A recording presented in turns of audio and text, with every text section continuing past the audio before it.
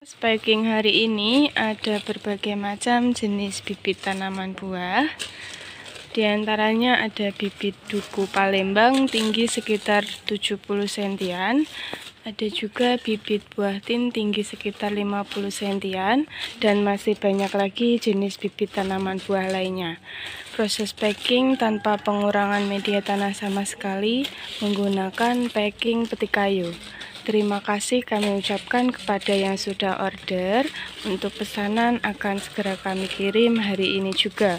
Untuk info stok dan pemesanan, bisa langsung menghubungi nomor yang tertera di dalam video maupun di dalam deskripsi.